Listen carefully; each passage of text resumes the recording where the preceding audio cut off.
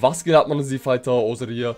Und Part 2 des dreijährigen Jubiläums hat nun endlich angefangen. Wir werden uns dementsprechend alle Informationen und Details ansehen, damit ihr auch für Part 2 gewappnet seid, sowie auf Part 1.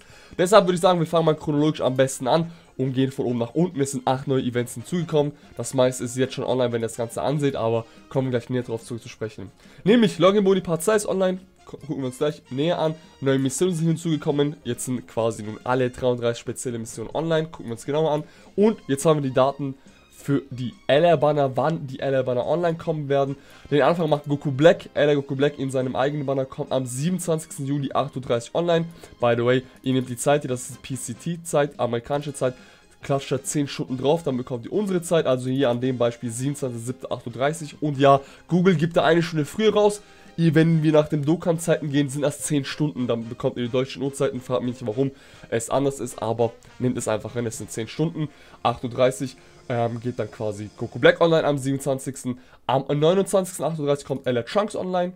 Am 2. August 8.30 Uhr unser Boy Ella Gohan. Gefolgt von 5.8.8.30 Uhr Ella Broly. Und zum Schluss 8.8. Ja, das Beste kommt zum Schluss. ne, Quatsch. Um 8.30 Uhr Ella Majin Vegeta. Da werden wir auf jeden Fall auch zusammen. Einen weiteren Cube wollen wir dann auf jeden Fall. Aber dazu dann, wenn das Ganze online kommt. Nun, wenn ihr das Video hier anseht, ist das Extreme Z Battle vom Free-to-Play-Kit Gohan schon online. Klassisches Beispiel. 10 Stunden baut mit drauf, dann kommt 8.30 Uhr raus und um 8.30 Uhr kommt er online, da habt ihr dann quasi auch einen Beweis direkt. Ähm, wir werden das Extreme Battle im heutigen Stream machen. Um 18 Uhr werde ich live gehen auf Twitch. Schaut in der Streambeschreibung, wann genau ich die Tage noch online gehen werde.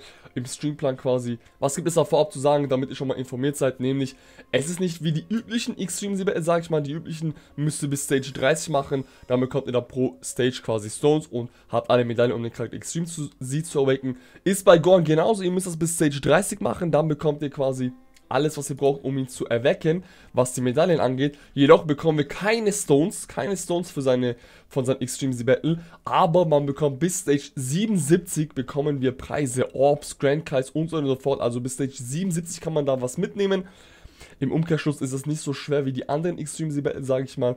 Aber damit ihr euch da nicht wundert, man bekommt da keine keine Stones von der Stage, von der Mission natürlich Logo, von der Stage jedoch nicht, aber bis Stage 77 bekommt ihr da Preise, also wenn ihr das da bis dahin durchhält, macht es auf jeden Fall. Die Namek-Saga-Kategorie ist effektiv gegen das Extreme Z-Battle.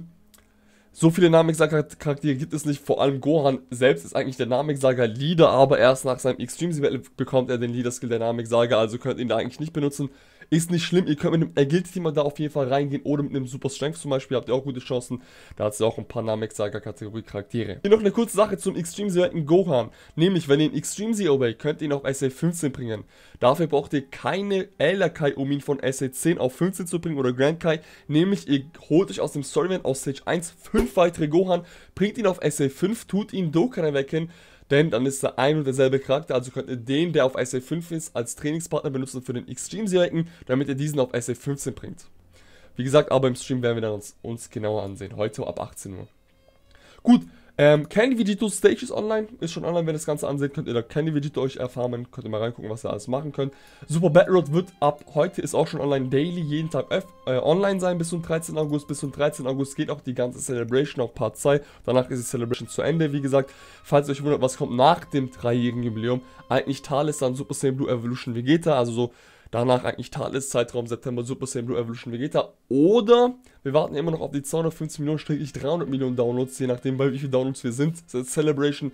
Warum spreche ich das an? Das, darauf warten wir schon Ewigkeiten. Weil nach dem Zweijährigen kam danach direkt das 200 Millionen Download-Banner, beziehungsweise das 200 Millionen Download-Special mit Gogeta, Vierfach Gogeta und Omega Shenlong. Ist eine reine Spekulation, ich weiß dazu gar nichts, nur war, war das schon, ähm, weil das schon im letzten Jahr so war, können wir vielleicht darauf hoffen, dass danach was abgeht mit den 250 und 300 Millionen Download Events. Kann ich auch nicht viel zu sagen, nur damit ihr da mal einen groben Ein äh, Einblick habt. Hero Examination Plan, die beiden Events, die nur am Wochenende online sind, werden ab dem 28. Juli, da wird die Seminar halbiert für die Stages. Warum erwähne ich das? Was ist hier wichtig? Für all diejenigen, die LR Bojack gezogen haben und sich fragen, wann kommt das Story-Event von LR Bojack wieder, damit ich die LR Bojack-Medaillen farmen kann. Ihr müsst sich auf das Story-Event erwarten, denn die Medaillen droppen hier bei dem Hero Examination Plan auf Stage 10 von dem ganzen Story von Bojack. Also damit ihr das auf jeden Fall Bescheid wisst. Gut, Zum Schluss kommt noch das Allerginio-Team und die Allerginio-Mitglieder. Das Ganze fängt erst ab 30. Juli 8.30 Uhr morgen an, am Montag. Nämlich, da wird abwechselnd die GNU Force Mitglieder, kann man die abwechselnd jeden Tag erfarmen. Ich habe dazu einen Guide gemacht. Ich würde euch empfehlen, meinen Guide auf jeden Fall ab, abzuchecken. Da bekommt ihr halt Informationen dazu. Das wird genauso gleich sein, wie es in JP war. Mit der Rotation, wie man sie erfarmen kann. Um es zusammenzufassen, wird jeden Tag ein neuer GNU Force Mitglied online sein. Dort könnt ihr euch Free-to-Play komplett ihn holen auf 100%, wie der Gohan.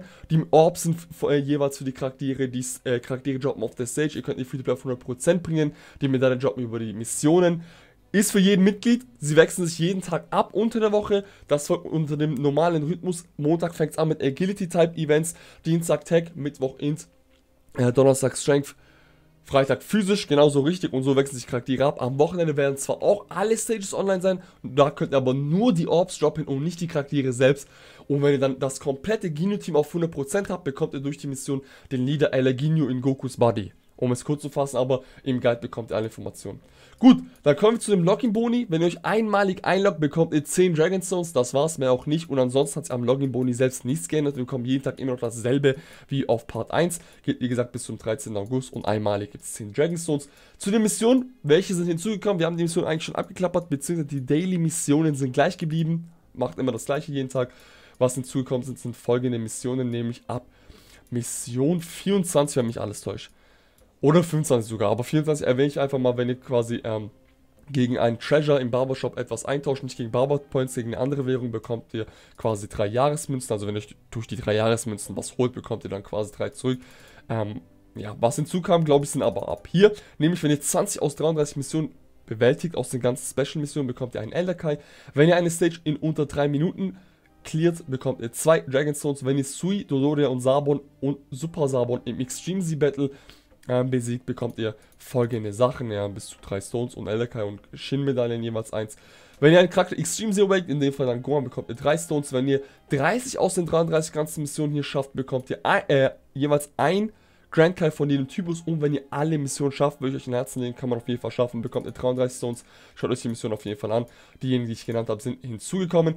Ansonsten wäre es, meine Freunde, wie gesagt, das wären alle Informationen zu Part 2. Ich hoffe, ich konnte euch dementsprechend helfen. Wenn ja, gebt den ganzen Like und vergesst heute Abend einzuschalten beim Extreme beim Stream auf Twitch. Wir sehen uns auf jeden Fall das nächste Mal, Freunde. Haut rein. Peace.